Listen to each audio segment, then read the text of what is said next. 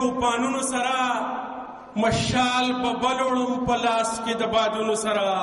او سلور ټوټې دي شي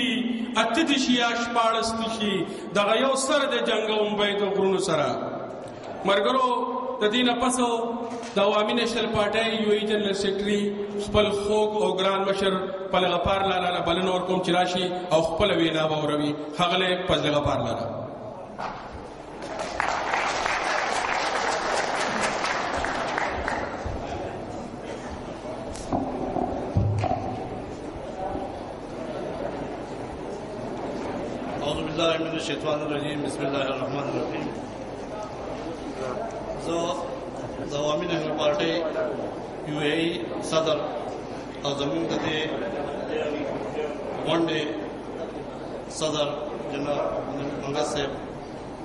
اجازت سره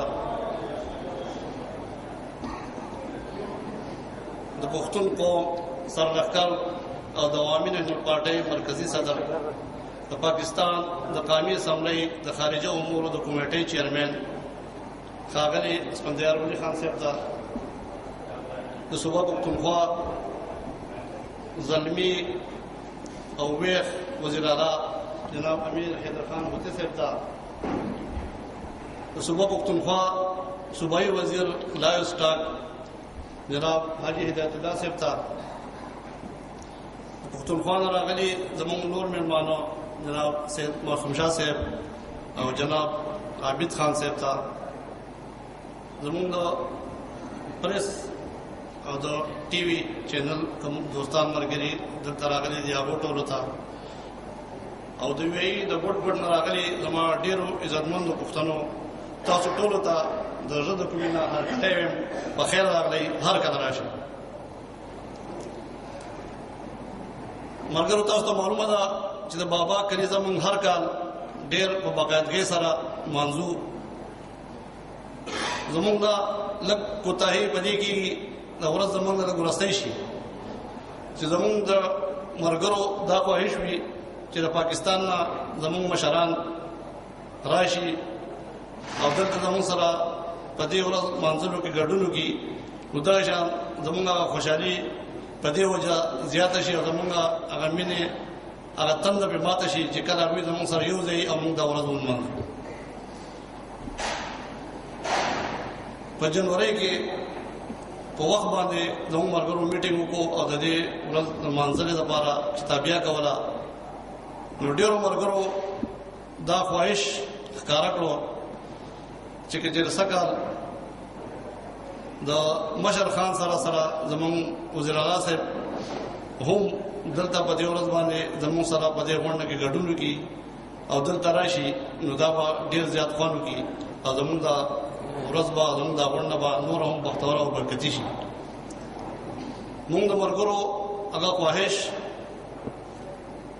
خپل مشرانو ته وړاندې کړو او تاسو ته معلومه ده چې زمونږ مشران په خپل کارکونانو باندې ډېر مهربان وي نو نو نور کړنی په شان زمونږ دا درخواست ته هم زموږ ته ونه ګرځورو او ډېر په خوشاله سره زمونږ هغه درخواست قبول کو او وی چې موږ بالکل تاسو ته حاضر یو خو چونکه تاسو ته پته را د صوبې حالات او د ملک حالات تاسو ته معلوم دي چې حالات ډېر ګډ کې چند دي او دومره بدامي ده چې داغه مسلسل سارنه کول غواړي نو هغه له باندې هغه هغه مصروفیاتو د وجه نه پروګرام له مونږ نه لیټ شو خو په دې لاک لاک شکر دې او مونږ هغه ډیر احسانونه او شکر گزار یو چې هغه مونږ ته دلته راغلل او نن زموږ په مخ کې ناس دي مونږ ټول دا به شکریا ادا کوو ادا غیر ډیر ډیر مهرباني ملګرو تاسو ته معلومه ده چې زمونږ په صوبه کې څه قسم حالات تیر شوي دي څه قسم دهشتګردي او بدامني وه په دغه حالاتو کې عوامي نهضت پارټۍ ته درې کاله مخکې چې کله حکومت ملاو شو هغه هم سر په سر نه بلکې د شراکت حکومت و خو بهرحال نور داسې څوک نه چې د جنگ ته او د بنباشانو ته سر تړلی وي نو مجبوري وه زموږ مشرانو عوامي نشربارو ټیکار ګرانو دا جنگ په سر واغستو ډېر قرباني ورکړې ډېر پکې شهیدان شو خو خپل جدوجهد پرې نه خوړو یو طرف ته دغه دهشتګردو دغه بدمعشانو مقابله کوله بل طرف ته چې کوم د پښتون قوم د دوش په تکان را روان کوم جدوجهد او د کوم مقاصدو لپاره دا غوی غ حصول هغه هم د نظر نه لري کړی او تاسو ته معلومه ده چې درې کاله په لږ وخت کې زمونږ مشرانو په خپل سیاست په خپل عقل او پوهه باندې هغه سره زمونږ د پاره حاضر کړی دي چې هغه د پاره ډېر وګت جدوجات شي او هغه په داسې حالت کې چې زمونږ په قومي اسمبلی کې صرف 14 ممبرانو او صوبایي حکومت زګوم زموږ هم کولیشن او مشترکه وو لیکن دا غي باوجود هغه زموږ د پاره زموږ د پہچان مونږ راکو زموږ د صوبې نوم بدل کو د صوبې نوم صوبه پښتونخوا شو دا غي دا علاوه مونږ صوبایي خود مختاري حاصل کړه ان اف سي ایوارډ کې خپل جایز حق واغستو دغه شان د کلاباغ ډیم منصوبه چې هغه به خلکو ډېره یادوله هغه هم د خاورو لاندې کړه دغه شان د زموږ تعلیمي نصاب چې کوم دی پاره کې د پښتون کلچر او د پښتون تاریخ مطابق مناسب بدلون راوستو مونږ په دې ټول باندې خپل مشرانو ته مبارکباد ورکوم ملګرو دا خبر ډېر وګدې نشم ګوره ځکه چې مشران په خبرې کوي خو دلته زمونږ ملګرو ځینې څه گزارشونه دي درخواستونه دي څه مطالبې دي هغه لږ ذکر وکم اول درخواست دا ده چې د پیښور ایرپورټ هغه ډیر زیات خراب شوی دی جوړ شوی دی د پاکستان ټول ایرپورټونه جوړ شو بیا سر دوباره هغه لا باغه حالت کې دی هغه باندې دومره چې دا جدن سړی به ګوتې نو سره د چت سره لګي نو دا غوښتنه ده چې په خوري ایرپورټ بیا آباد شي او په هغه باندې نوم د باچا خان انټرنیشنل ایرپورټ په نوم دی هغه جوړ شي بیا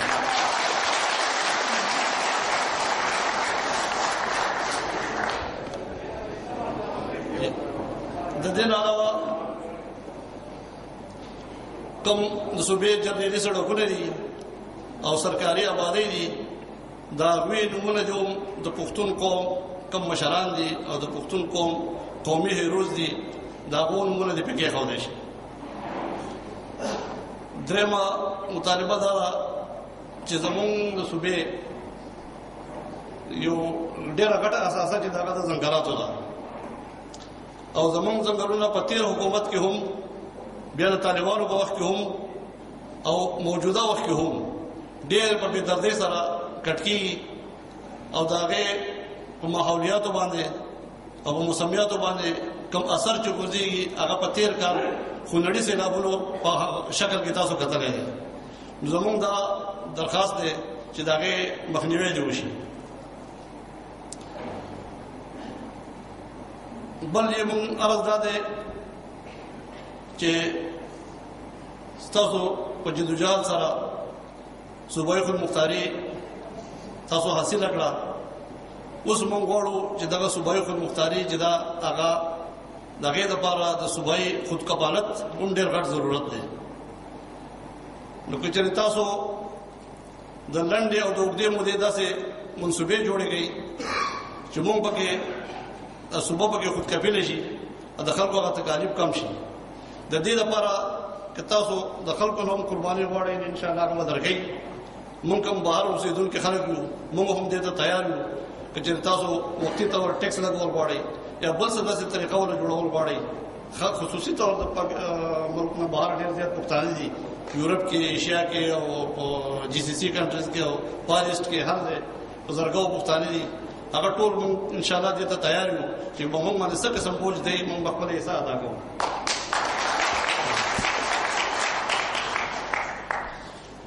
بل یو زموږ عرض ده چې زموږ د نوې کول د تربيت لپاره صدا دغه طریقه کار نشته چې دا به لپاره سم ورکشاپونه یا د څه زندګا وشي چې هغه ته د پارټي کوم هغه مقاصد دي د پارټي کوم یا زموږ مشران کوم دا خو دي چې هغه ته پکې دغه تربيت ورکړي شي انا او هغه هغه هغه هغه تاثیر شي نو دا هم د پښتون قوم سره یو ډېر غټ اخلاص وي اخر جی ارز دا دی زموږ د دې مرګرو حکم چې د مرګ نه بهر دي دا غي بعضې داسې وړې وړې مسلې وي چې هغه د هغې لپاره وطن ته تللی نه شي هلته داسې څوک وي نه که پره که څوک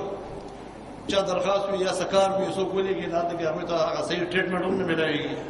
نو زموږ د دې مرګرو دا درخواست دی چې یاره زموږ لپاره داسې طریقه کار جوړ کړی شي یا زموږ لپاره څه یو ډیسک کار کې کولاو شي یا داسې وي چې زمونږ د خلکو دا وړې وړې مسلې چې دا هینډل کوي نو دا به ډېره غټه مهرباني وي زه نور زیات وخت نه لرم صاحب د ټولو مشرانو او صاحب د ټولو مهرباني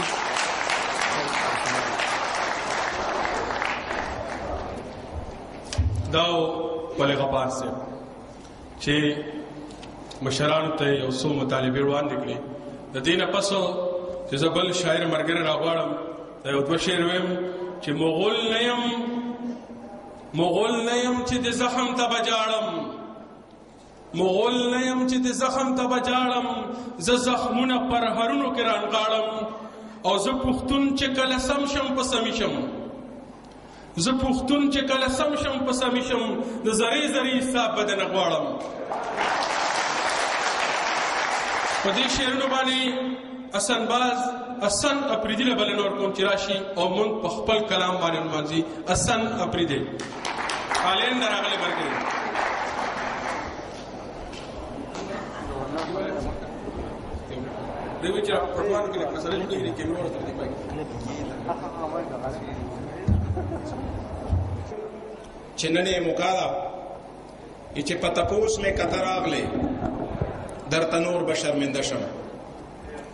په تپوس مې کته راغلې درته نور به شرمنده شم زما کور په لوګو تور دی ته لایق د تخت و تاج یې په خیر راغلو ستړي مه شو یو څو شعرونه وړاندې کوم ورک کاروان دی چې پیدا کړو رهبر ته ورک کاروان دی چې پیدا کړ رهبر ته د پښتون د تیرو بیر لخر سر ته پتیارو کې به ترو سلا پراته وې پتیارو کې به ترو سلا پراته وې د پښتون د دې تیارو رون سحر ته او پښتونخوا او چې افغان دې سره یو کړو پښتونخوا او چې افغان دې سره یو کړو د دې دواړو په دې مینس کې خیبر ته او لکه تپل دې په ګوتا ځای لبوتلو لکه تفل د پګوتا زای لبوت له د حسن غوندې ړندولا نظر ته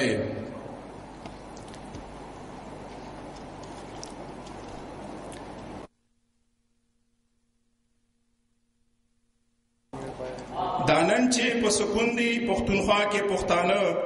تا خپل ځان پریشان کړ خو پښتون دې کړه آباد په خوې خصلت فقیر وې یو ساده باد پښتون په خوې خصلت فقیر وې یو ساده بادا پښتون خپل ځان دې باچا خان کړ خو پښتون دې کړه آباد دانه چې کون دې ورکو دانا چې ګوندې ورک وو تشې دوړې په پرتې وې پټلال پټلال دې را عیان کړ خو پښتون دې کړه آباد او کشته دې لګردابا په یوازې تر ساحل کړه کشته دې لګردابا په یوازې تر ساحل کړه موجونه دې حیران کړه خو پښتون دې کړه آباد کرلی تخم تا چې و زرغون شه بابا جانا کرلی تخم تا چې و زرغون شه بابا جانا صحرا دې ګلستان کړه خو پښتون دې کړه آباد او اخیری شعر دا چې شي سترګې را ډکه اه افسوس چې دلته ته وې چی سترګې یې راډکې اخ افسوس چې دلته ته وې حسن د غارمان کړو خو پښتون دې کړه آباد زار دې د ټولو پښتنو سترګو کړم د حسن بیلا افریدي زړګیا دا حسن افریدي آلند راغله مرګري د دې نه پسو د عوامي نېشنل پارټي متحده عرب امارات صدر سېنېټر عبدالنبي بانګس څوک چې د دې پروګرام صدر هم دی د دې درون او تاریخي پروګرام صدارت هم کوي هغه له بلنه ورکوم هغه له په دې شعرونو باندې ما اقتدراتو بلنه ورکوم چې په ټوټکو رانه د مینې پیریان نزي په ټوټکو رانه د مینې پیریان نزي ما به وجنې شیخه دومره آسان نزي او د جنت په ورې پرې نه درې دوانه د جنت په ورې پرې نه دې ریدوانه چې د وینې نه یې بوی د افغان نه ځي په دې شعرونو باندې خپل خوږ او ګران مشر د عوامي نېشنل پارټۍ یو یې صدر سلیټر عبدالنبي بندش له بلنه ورکوم چې راشي او خپله وینا وکړي